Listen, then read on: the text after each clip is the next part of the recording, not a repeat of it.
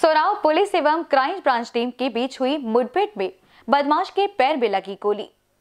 सोनाव police एवं crime branch team से बदमाश की हुई मुठभेड़, जिसमें एक बदमाश के पैर में लगी गोली।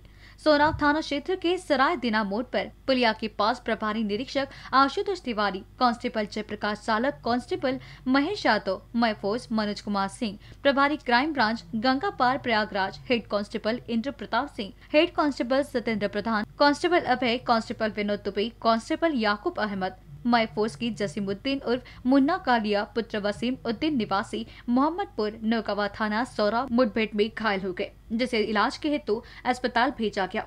एसपी गंगापार धवल कुमार जायसवाल मौके पर मौजूद थे। आगे की विविध कार्यवाही की जा रही है। जसीमुद्दीन के ऊपर प्रयागराज जनपद तथा फतेहपुर जनपद में कुल मिलाकर नौ मुकदमे दर्ज है, जो मुन्ना कालिया के नाम से जाना जाता था। आज थाना सुराव क्षेत्र के अंतर्गत पुलिस को एक मुखबिर द्वारा सूचना प्राप्त हुई थी कि यहाँ पर एक आपराधिक किस्म का व्यक्ति जसीमुद्दीन उर्फ़ मुन्ना कालिया देखा गया है, जो किसी घटना को कारित करने के उद्देश्य से क्षेत्र में टहल रहा है। पुलिस द्वारा इसी मामले को लेकर सघन चेकिंग अभियान चलाया गया था, जिसमें सरायदीना मार्ग पर पुलिस द्वारा एक व्यक्ति को रोका गया संदिग्ध परिस्थितियों में, जिसमें पुलिस टीम पर इस व्यक्ति ने फायरिंग कर दी। जवाबी पुलिस टीम की फायरिंग पे इस व्यक्ति को पैर में गोली लगी है।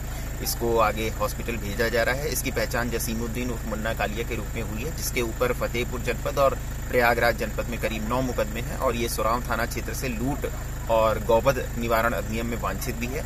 आगे की विधिक कार्रवाई की जा रही है। बीसीएन न्यूज़ के लिए प्रयागराज से रविचंद्रा की रिपोर्ट।